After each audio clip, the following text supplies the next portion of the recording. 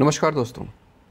इस एक तस्वीर से तो आप रूबरू हो ही गए होंगे क्योंकि ये तस्वीर बहुत ही चर्चित है। यहाँ पे एक अधिकारी हैं, ये खाद्य इंस्पेक्टर के तौर पे पदस्थ थे, फ़िलहाल सस्पेंड है और उनके ऊपर एफआईआर भी हो चुकी है और इसी एफआईआर के ऊपर आज हम बात करने जा रहे हैं कि आखिरकार ये एफआईआर किस धारा पे हुई है और इस धारा का मतलब क्या है और यहाँ पे वो रिजर्वायर है जहाँ पे पानी भरा हुआ है।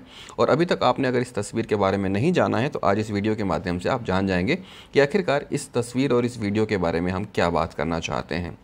तो फ़िलहाल ये जो तस्वीर है वायरल थी और सिर्फ़ छत्तीसगढ़ ही नहीं, भारत ही नहीं, बल्कि पूरे विदेशों में, बहुत सारे देशों में भी ये तस्वीर धूम मचा रही है। यहाँ पे वो अधिकारी हैं जो छतरी लगा के रिजर्वायर के पास बैठे हुए थे और पानी खाली करा रहे थे। यहाँ से पानी निकाल रहे थे सिर्फ़ इसलिए क्योंकि यहाँ पे इनका डेढ़ लाख का मोबाइल गिर गया था। उस मोबाइल को पाने के लिए इन्होंने लाखों लीटर पानी बहा दिया और उसके बाद ये सस्पेंड भी हुए और इनके खिलाफ एफआईआर भी और इनके साथ दो और अधिकारियों पर एफ़ हुई है जो जल संसाधन विभाग के अधिकारी थे, जिसमें कि एक एसडीओ और एक सब इंजीनियर शामिल हैं। तो इस तस्वीर को आपको दिखाने और इस पूरे मैटर को आपको बताने के पीछे मेरा मकसद क्या है, वो मैं आपको बताना चाहता हूँ। और यहाँ पे एक हेडलाइन आप देख लीजिए टाइम्स ऑफ़ इंडिया का। टाइम्स ऑफ़ इंडिया की इस हेडलाइन को देखेंगे तो आप समझ जाएँगे कि आखिरकार मैं किस टॉपिक पे बात करना चाहता हूँ और ये टॉपिक आपके काम का है या नहीं है। तो आप जानते ही हैं कि बिना काम की चीज़ें मैं लेकर आता नहीं हूँ और मैं आपके लिए ऐसे ही चीज़ें लेकर आता हूँ जो आपके लिए जानकारी फ्रूट हो और आप जो है तो आप जो है कभी इस तरह की गलतियाँ करने के बारे में ना सोचें, क्योंकि जब आपके पास जानकारी रहती है, तब आप कानून से बचने की कोशिश करते हैं और आप उसी राह पे चलते हैं जिस राह पे कानून का कोई उल्लंघन ना हो और आप भी बिल्कुल सही सलामत रहें। तो देखिए, यहाँ पे लिखा हुआ है F I R against the three Chhattisgarh officials for draining water from dam S D O suspended. इसके पहले फ़ूड इंस्पेक्टर भी सस्पेंड हो चुका है और अब एस डी ओ को भी सस्पेंड कर दिया गया और उसके अलावा एफ़ आई आर भी हुई है। FIR क्यों हुई है? यहाँ पे भी लिखा हुआ है टाइम्स ऑफ़ इंडिया इस आर्टिकल में, कि the food inspector was earlier serve with a fine of rupees fifty three thousand by W R D which the order stated should be paid within ten days जो food inspector है, जिसने यहाँ पे पानी बहा दिया था, उसके ऊपर तिरपन हज़ार रुपये का जुर्माना भी लगाया गया है, और इसके अलावा उसको सस्पेंड तो पहले ही कर दिया जा चुका है, और उसके ऊपर एफआईआर भी दर्ज की जा चुकी है। ये जो इमेज है, ये मीडिया की सुर्खियाँ रही हैं और अब विदेशों में भी इसकी चर्चा की जा रही है, क्योंकि जिस तरह का यह मामला है, अपने आप में यूनिक है और ऐसी लापरवाही की उम्मीद किसी अधिकारी से तो नहीं की जा सकती है, इसीलिए शासन प्रशासन भी इस मामले में काफ़ी सख्त है।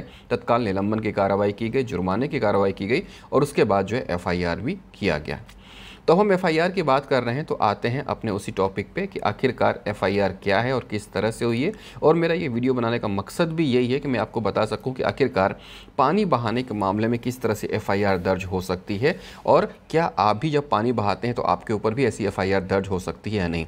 लेकिन घरों में जो आप नल खुला करके छोड़ देते हैं, पानी बाल्टी से बहता रहता है, वो अलग मामला है। और यहाँ पर जो पानी बहा है, वो अलग मामला है। तो फ़िलहाल आपको बहुत ज़्यादा घबराने की ज़रूरत नहीं है।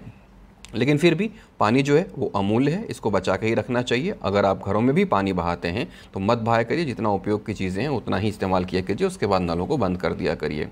तो हम आते हैं अपने टॉपिक पे फिर से लौट के, और हम बात कर रहे हैं यहाँ पे आईपीसी के सेक्शन 430 की। यहाँ पे आप देख सकते हैं, एक एफआईआर है। एफआईआर किस सेक्शन के अंतर्गत होती है? 154 सीआरपीसी सीआरपीसी की जो धारा एक सौ चौवन है, उसके अंतर्गत एफआईआर दर्ज होती है और इसे हम कहते हैं फ़र्स्ट इन्फॉर्मेशन रिपोर्ट, यानी कि प्रथम सूचना पत्र। ये प्रथम सूचना पत्र होती है जिसके अंतर्गत किसी भी अपराध की जानकारी दी जाती है। यहाँ पे आप देख लीजिए, अपराध की जानकारी दी गई है कि भारतीय दंड संहिता 1860 आईपीसी 1860 कि सेक्शन 430 और 34 के अंतर्गत ये एफआईआर दर्ज हुई है। दो धाराएँ लगाई गई हैं, जिसमें से एक धारा है 430 और एक धारा है चौंतीस। तो आखिर क्या है ये धाराएँ 430 और 34 इसके बारे में मैं आपको बताऊँगा ताकि आप भी अवेयर रहें और कानून की जानकारी भारत के हर एक नागरिक को होना ही चाहिए, इस बात की उम्मीद की जा सकती है। क्योंकि जब भी आप कोर्ट में जाते हैं या आपके खिलाफ़ कोई एफआईआर होता है तो वहाँ पर दो चीज़ें की जाती हैं। वहाँ कहा जाता है कि अगर तथ्य की भूल हुई है तो आपको क्षमा किया जा सकता है। लेकिन अगर आप कहें कि कानून की भूल हुई है तो वहाँ पे आपको क्षमा नहीं किया जा सकता। आप ये नहीं कह सकते कि ये जो कानून बना है, ये जो लॉ बना है, उसके बारे में आपको जानकारी नहीं थी, इसलिए आपसे ये गलती हो गई। जब भी देश में कोई कानून बनता है तो ये उम्मीद की जाती है कि आपको उस चीज़ की जानकारी होगी। इसीलिए लॉ के बारे में सतर्क रहने की ज़रूरत है और आपको जब अपने अधिकार पता रहेंगे तो आपको लॉ भी पता रहेंगे। तो आइए बात करते हैं इस एफआईआर के बारे में, इस एफ़ की कॉपी के बारे में। यहाँ पे देखिए पॉइंट नंबर सेवन यहाँ पे ये लिखा रहता है कि कौन कौन से वो एक्यूज हैं, कौन से वो आरोपी हैं जिनके खिलाफ ये एफ़ दर्ज हुई है। तो यहाँ पे तीन नाम है, राजेश विश्वास, ये फ़ूड इंस्पेक्टर इसके अलावा रामलाल धीवर, ये जल संसाधन विभाग में एसडीओ इसके अलावा छोटे लाल ध्रुव, ये सब इंजीनियर है बखानजूर में, जल संसाधन विभाग में। तो इस तरह से तीन लोगों के खिलाफ एफआईआर हुई है और एफआईआर करवाया है, वहीं के नायब तहसीलदार ने। इसलिए क्योंकि इन लोगों ने एक रिजर्वायर का पानी बहा दिया था। पानी बहाया था फ़ूड इंस्पेक्टर राजेश विश्वास ने, लेकिन जो जल संसाधन विभाग है, उसका काम होता है कि वो इस तरह के रिजर्वायर पर नज़र रखे, उसकी निगरानी रखे, उसकी जो सुरक्षा है, उसको लेकर ध्यान दे। इस तरह का कोई दुरुपयोग नहीं कर रहा, उस पर भी ध्यान दे। लेकिन उस काम को करने में रामलाल धीवर और छोटे लाल ध्रुव, जो कि एस और सब इंजीनियर हैं, वो नाकामयाब रहे थे। इसलिए इनके खिलाफ भी एफआईआर दर्ज की गई है, नेग्लिजेंसी को लेकर। तो अब हम आते हैं अपने मुद्दे पे टॉपिक पे, और हम बात करते हैं कि आखिरकार सेक्शन 430 है क्या? और इस चीज़ के बारे में हम जानें कि 430 आखिरकार क्यों लगाया जाता है और इसके ऊपर जब लग जाता है तो क्या कुछ तरह की कार्रवाई या सज़ा का प्रावधान है। तो सबसे पहले आप सेक्शन 430 को डिटेल में देख लीजिए कि आखिरकार ये कहता क्या है। आईपीसी का सेक्शन 430 ये कहता है mischief by injury to work of irrigation or by wrongfully diverting power इस वर्ड को ध्यान दीजिएगा wrongfully diverting power mischief by injury to work of irrigation or by wrongfully diverting water अब इसके अंदर व्याख्या देखिए। Whoever commits mischief by doing any act which causes or which he knows to be likely to cause a diminution of the supply of water for agricultural purpose or for food or drink for human beings or for animals which are property manufacture which are property or for cleanliness or for carrying on any manufacture shall be punished with imprisonment of either description for a term which may extend to five year or with fine or with both तो क्या कहता है? इसको हिंदी में भी देख लेते हैं ताकि आपको ज़्यादा अच्छे से समझ में आ जाए। धारा 430 ये कहता है कि जो कोई भी किसी ऐसे कार्य के करने द्वारा रिष्टि करेगा मिसचेफ करेगा, जिससे कृषि प्रयोजनों के लिए, मानव प्राणियों के लिए या उन जीव जंतुओं के लिए जो संपत्ति है, खाने या पीने के योग्य है या सफ़ाई या किसी भी निर्माण को चलाने के लिए जल प्रदाय में कमी कारित होती है या कमी कारित होना संभाव्य हो जानता हो, वह दोनों में से किसी भांति के कारावास से जिसकी अवधि पाँच वर्ष तक हो सकेगी या जुर्माने से या दोनों से दंडित किया जा सकेगा। इसका कहना यह है 430 धारा का कि यदि कोई व्यक्ति किसी ऐसे जल प्रयोजन का, किसी ऐसी जगह जो वाटर रिज़र्व है उसको वेस्टेज करता है या उसका नुकसान करता है और वो जो वाटर है, किसी ऐसे यूज़ के लिए जिससे या तो कृषि कार्य हो सकते थे या जीव जंतुओं के पीने के योग्य आ सकता था या फिर वो इंसानों के किसी आगे काम आ सकता था, वैसे पानी को अगर कोई नुकसान करता है तो उसे धारा 430 के अंतर्गत दंडित किया जाएगा और इस दंड का जो सज़ा है, वो पाँच वर्ष तक का हो सकेगा। तो पाँच वर्ष तक की सज़ा का प्रावधान है, इसके अलावा जुर्माने का प्रावधान है या फिर दंड और जुर्माना दोनों एक साथ लगाया जा सकता है। तो ये है 430 धारा जिसके बारे में आपने देखा, इसके बारे में आपने पढ़ा।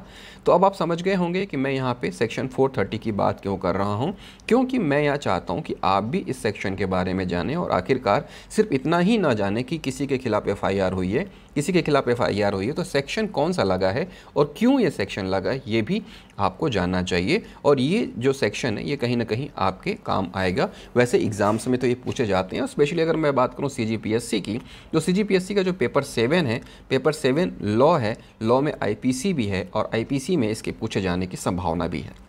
तो उम्मीद करता हूँ कि सेक्शन 430 के बारे में आप जान गए होंगे कि आखिरकार 430 क्या है। इसे एक बार दोबारा पढ़ेंगे तो आपको समझ में आ जाएगा। इसके अलावा यहाँ पे एक और सेक्शन है जिसके बारे में मैं आपको नहीं बताया हूँ, उसके बारे में आप जान लीजिए। सेक्शन 34 सेक्शन 34 का मतलब है सामान्य आशय। जब भी कोई अपराध कारित होता है और उसमें एक से अधिक लोग शामिल होते हैं और उन सभी लोगों की मनोदशा एक जैसी होती है और वो समान मनोदशा के साथ अपराध को कारित करते हैं तो वहाँ पे भारतीय दंड संहिता की धारा चौंतीस लागू हो जाती है। अब यहाँ पे एक फ़ूड इंस्पेक्टर, उसके अलावा जल संसाधन विभाग का एसडीओ और उसके अलावा वहाँ का सब इंजीनियर। इन सभी पे ऐसा माना जा रहा है कि सबने समान आशय के साथ ये अपराध कारित किया था। एक तरफ़ तो इसने पानी निकाला, दूसरी तरफ़ एसडीओ ने परमिशन दी। ये जानते हुए भी कि नुकसान हो सकता है। तीसरी तरफ़ जो सब इंजीनियर है, उसने निरीक्षण ठीक से नहीं किया उस पूरे मामले में अपनी ड्यूटी सही से नहीं निभाई। तो तीनों का आशय लगभग एक तरह से था, इसलिए इनके ऊपर थर्टी भी लगा हुआ है। तो इस तरह से जो आईपीसी है, उसकी धारा 430 और 34 के तहत इनके ऊपर एफआईआर दर्ज हुई है। तो यहाँ पे आप कानून के बारे में जान सकते हैं और आपको जानने का अधिकार है और इसी तरह से जब कोई मैटर होता है, कोई इंसिडेंट होता है और उस वक्त पर्टिकुलर आप इन धाराओं के बारे में जानेंगे तो धीरे धीरे आपको कानून की अच्छी जानकारी हो जाएगी। तो यहाँ पे आपने देख लिया कि 430 क्या है। 430 ये है कि जब भी कोई ऐसा व्यक्ति जो ऐसे पानी को नुकसान करेगा, जिससे किसी कृषि उपार्जन के कार्य के लिए, या फिर मानव प्राणी के लिए, या फिर जीव जंतुओं की संपत्ति है, या उनके यूज़ हो सकती है, खाने पीने के, सफ़ाई के, सिंचाई के, उसमें अगर वो नुकसान करता है तो उसके खिलाफ इस तरह का धारा लगाया जाता है और उसको पाँच वर्ष तक की सज़ा का प्रावधान है। इस तरह से ये धारा 430 है। इसके अलावा आपने ये भी जाना कि फ़र्स्ट इन्फॉर्मेशन रिपोर्ट जो होती है, यानी कि जिसको हम एफआईआर कहते हैं, वो एफआईआर कैसे दर्ज होती है? वो एफआईआर दर्ज होती है सेक्शन 154 और ये कौन सा अधिनियम है? ये है सीआरपीसी क्रिमिनल प्रोसीजर कोड तो इसके तहत जो है, ये एफआईआर दर्ज होती है एफआईआर जिसको कि हम प्रथम सूचना पत्र या फ़र्स्ट इन्फॉर्मेशन रिपोर्ट कहते हैं।